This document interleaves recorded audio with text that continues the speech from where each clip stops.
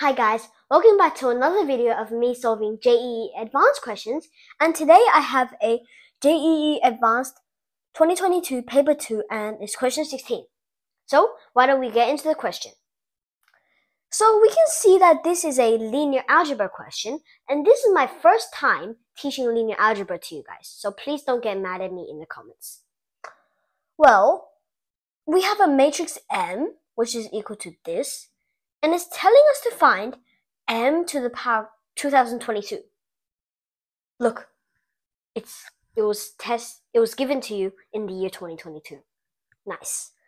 Okay, anyway. Hmm. Well, we can't really raise this matrix by 2022 by hand, can we? Because it's going to get too crazy. So we need to find some characteristics of this matrix to let us have a breakthrough and then boom, we can solve the question. Well, I'm going to rewrite the question here. So just rewriting what m is equal to.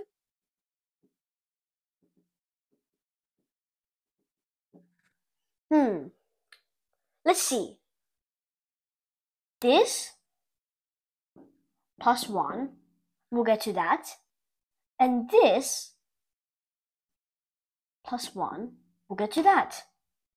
Well, look, this means that we have a secret identity matrix hidden in this. Well, if there is one identity matrix hidden in here, then why don't we try to subtract this identity matrix from M? Okay, so we can, so we have M minus I is equal to 3 over 2, 3 over 2, negative 3 over 2, negative 3 over 2. Beautiful. Well, of course we can factor out a 3 over 2.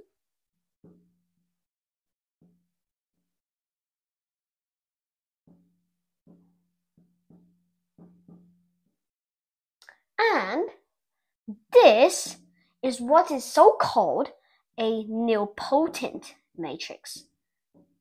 Please don't get mad at me if I present if I pronounce this wrong. Nilpotent matrix.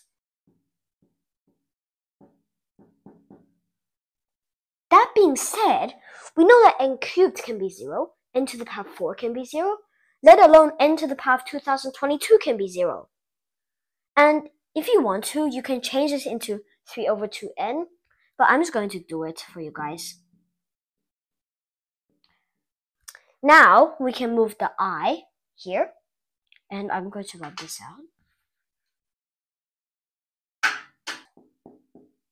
M is equal to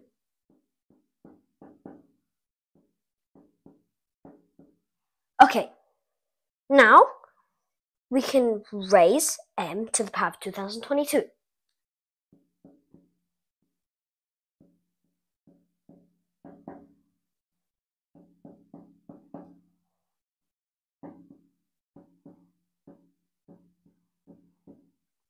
So we know that m to the power of 2022 is equal to time for the expansion. For the first term, it is just i to the power of 2022 plus c 2022 1, which is simply 2022, and then i raised to the power of 2021, and then multiply by this term to the power of 1.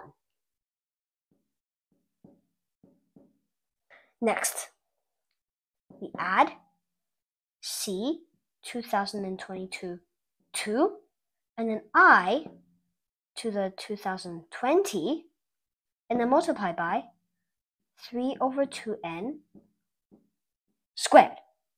And then we add all the way to the last term, which is 3 over 2n raised to the power of 2022.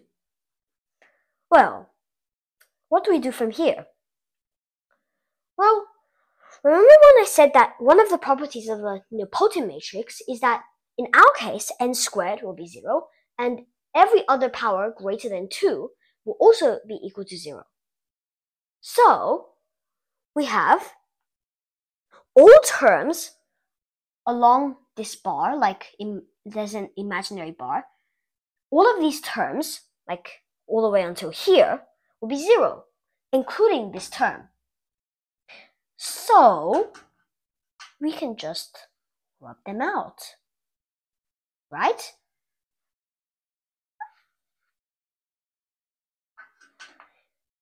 And period. Okay, now this I, or the identity matrix, recall, raised to the power of anything will be itself.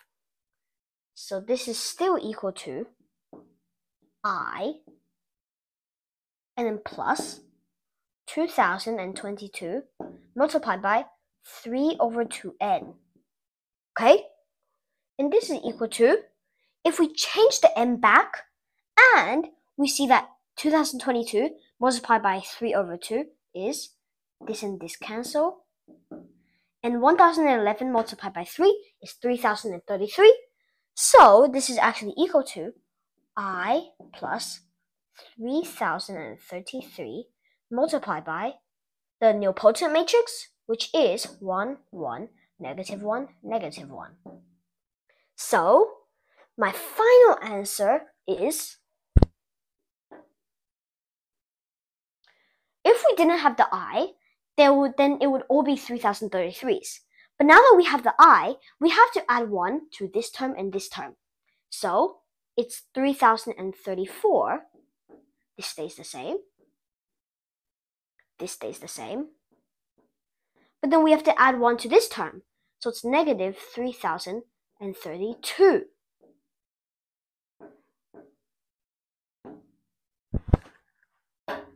Well, let's look at our choices. So I can just write that the correct answer, tick, is A. So that is the final answer of this super beautiful linear algebra question. Well, thank you guys so much for watching and if you enjoy my videos and you like content like this, please consider liking and subscribing. If you want to master something, teach it.